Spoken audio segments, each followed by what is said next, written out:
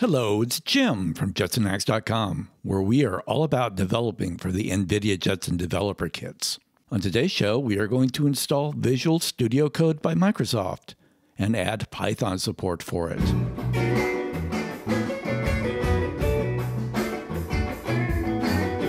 There are several different ways to install the open source edition of Visual Studio Code. One way, of course, is to install from source. However, today we are going to install a build from code.headmelted.com. The builds are automated builds of the open source edition of Microsoft's Visual Studio Code. It says here that the primary focus of this site is to provide builds of the open source edition of VS Code for less common platforms. In particular, we are interested in ARM64. I have written some convenient scripts to install Visual Studio Code from the headmelted.com site. On the Jetson Hacks Nano account on GitHub, there is a repository named install VS Code. Let's clone that repository.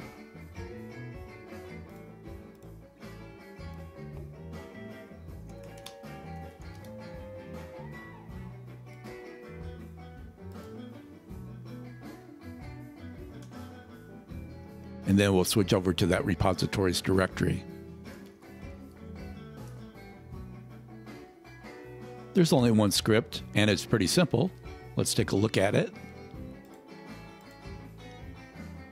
There are two scripts that we pull down from the repository. The first script sets up the keys to the repository, and the second script installs VS Code. Let's install VS Code.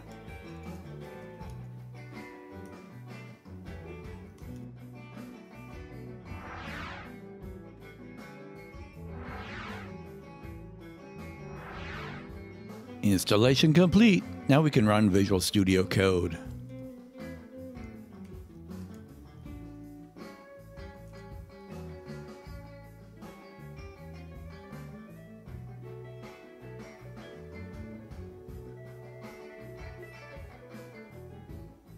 The first time that Visual Studio Code is launched, it also opens up the documentation in a browser window. Now we are ready to add Python support let me lock Visual Studio Code to the launcher. I have a Python project that needs a little bit of help. We've had reports of an issue with not supporting Python 3. Let's download this repository.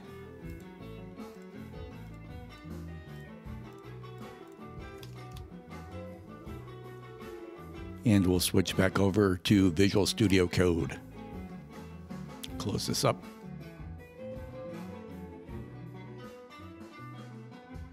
Full screen. Let's open up our Explorer and open up a folder. Let's open up the folder that we just downloaded. Okay. And let's take a look at this Python file. Visual Studio says down here that the Python extension is recommended for this file type. Let's install it.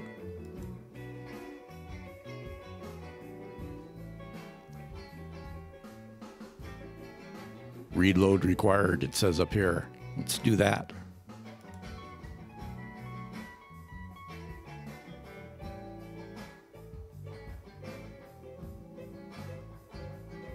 Gives us another message. The linter pylint is not installed. According to Wikipedia, OLint is a tool that analyzes source code to flag programming errors, stylistic errors, and suspicious constructs. I like that, suspicious. Let's load pylint. And it says that there's no pip installer available in the selected environment. We can see that we're using Python 3.6.8 64 bit.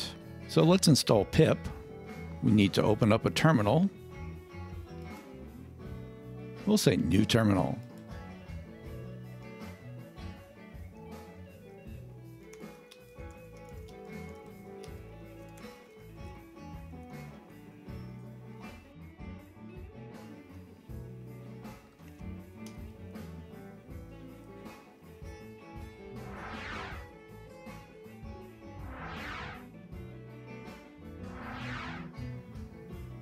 Okay, that looks like it went well. And let's take a look at this Python. Here's the optional steps. Let's install a linter.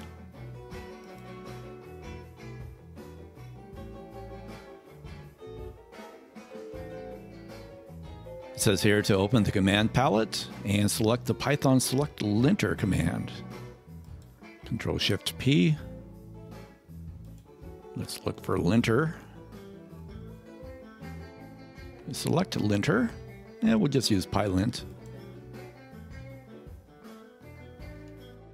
Let's install that.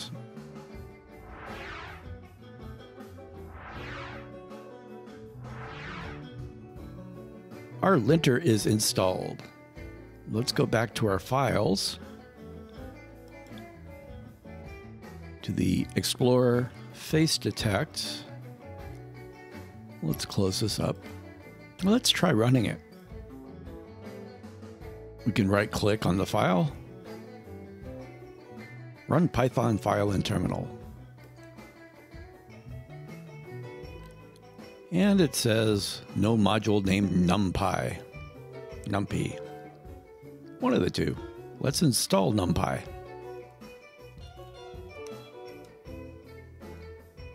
This will take a while. Let's open up our system monitor.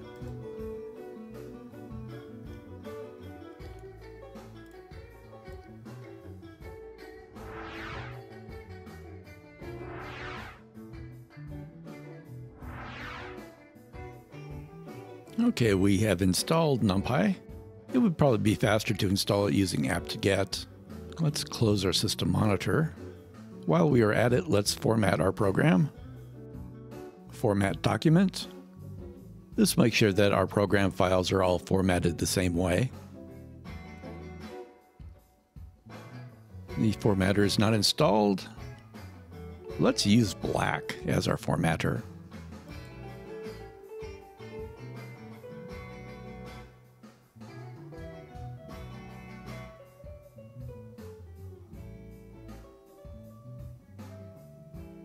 Okay, let's try it again.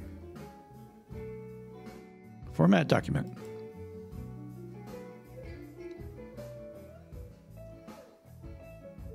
Changes it around a little bit. Let's save the file.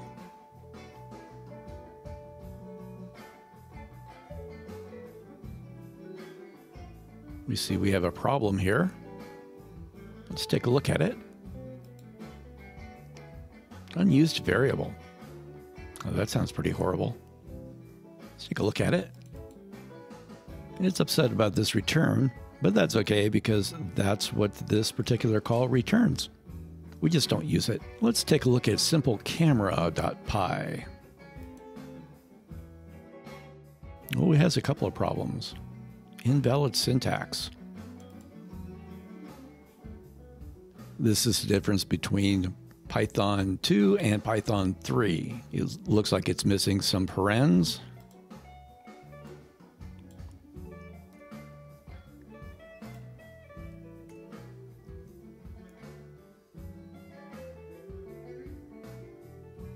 He found another error.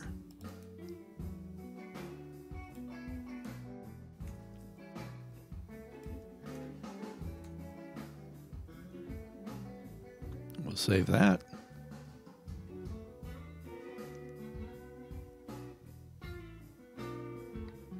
Unnecessary semicolon. Oh, that's that old C programming coming back to bite me. Fix that. We already know about the return value and window handle. What is that about? No, that looks okay. We'll leave that. Let's format our little program. And we'll save it. It seems relatively happy. Let's see if we can run our program. Let me move the microphone out of the way.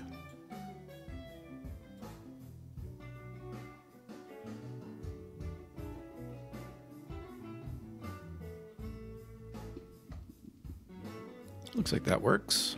Let's close that.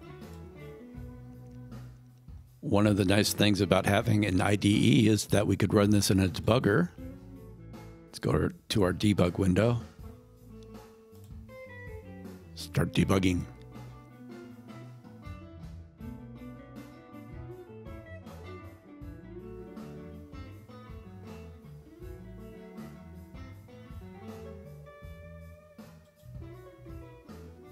And we get an exception has occurred error when we close the window. So here's the problem. You close the window and then you try to get the window property, but when you close the window, of course, it doesn't have any properties anymore. I'm sure there's a clever way to get around that. I don't know what it is right now, so I'm going to ignore it. But it's nice to know that you could actually debug your programs this way. Let's stop debugging. Another nice thing about Visual Studio Code is that it has integrated source control. Let's hit this icon so we can see the changes that we made. They show up as a diff. It's pretty nice.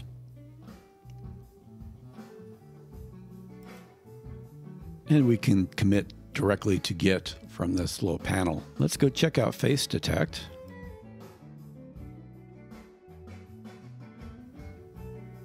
Just to make sure it works.